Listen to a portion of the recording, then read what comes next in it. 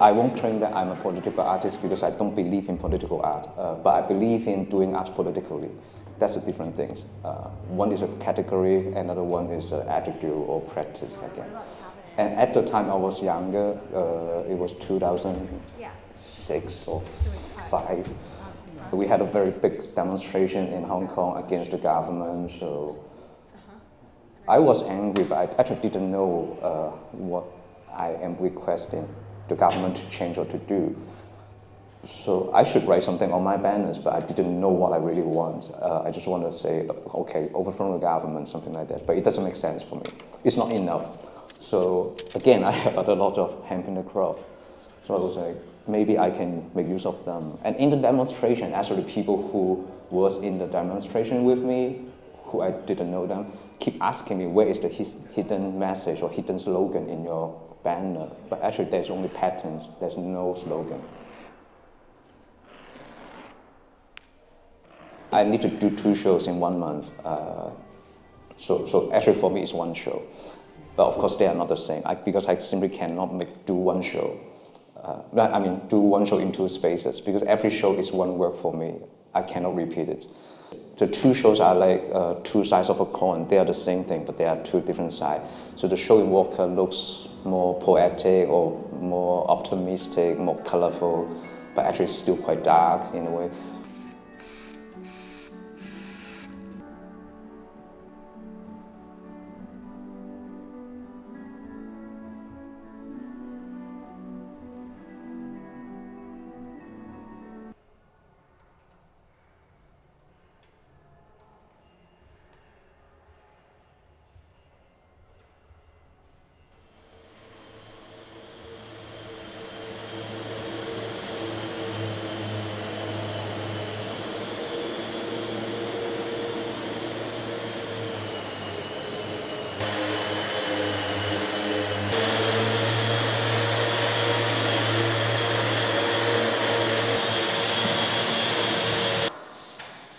Coincidence is a very important part of my so-called practice.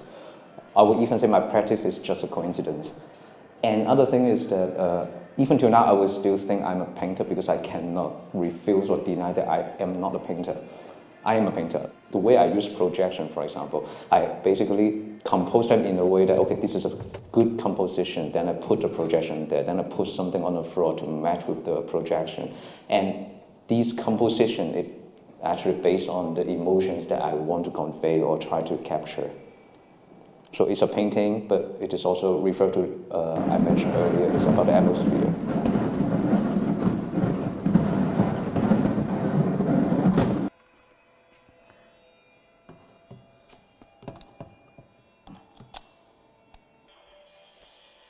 It was again a coincidence uh, that I discovered I can use uh, paintings and projection at the same time. I was too lazy in the exhibition space to switch on the light. Too lazy and also I don't like spotlight. In that space, they only have spotlight. I hate spotlight. So I just don't want to go to the other corner of the exhibition to switch on the light. And there was a projector hanging there, so I switched on the projector just to make use of it as, a, as some lighting source for me because I was working on a painting. Then I hang the painting inside the projection. It was a pure white projection. Then I realized the pixel created or projected on the canvas or the, the painting, this is the texture I want. And when I walk closer to want to see the details of the painting, which I'm working on, I see my own shadow. So it was like, yes, I cannot see details. The first thing I see is my shadow. Uh, I think the, the reality is the same every time when I want to see the details of a certain situation or event, actually the first thing I notice is my own emotion, is my own opinion. Everything is me, me, me.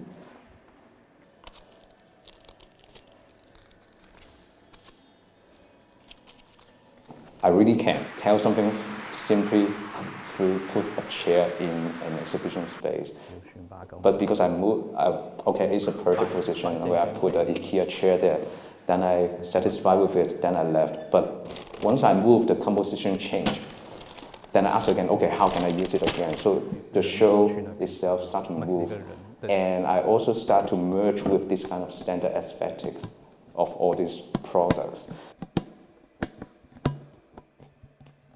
I used to ship all these uh, materials I need to the space, to the exhibition, but then I found it boring. I don't want to repeat things somehow. So now I actually just go shopping. For example, I, I did shopping uh, with people from the museum here. We went to uh, Biba, Hubo,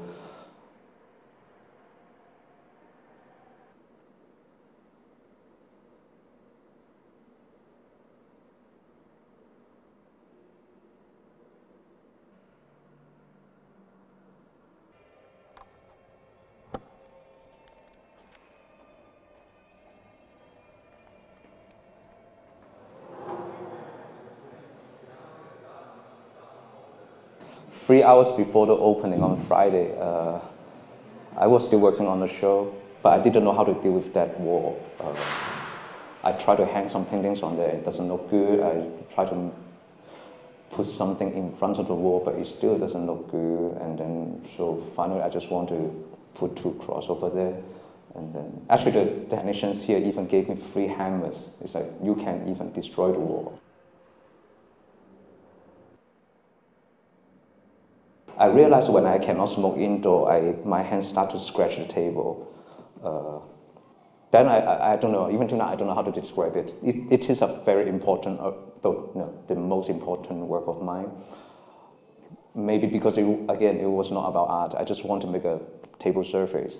Because I realized in that moment when I was scratching the table surface, I feel nervous, I feel happy, I feel sad at the same time. Everything has come together. If I earn enough money, then I can do something really meaningless. For example, scratching a table surface. This is my enjoyment in my life. It is meaningless, but I think the meaning of life sometimes is because we have the choice to choose to do something really meaningless. Then we got inspired. For example, art. art is really meaningless sometimes.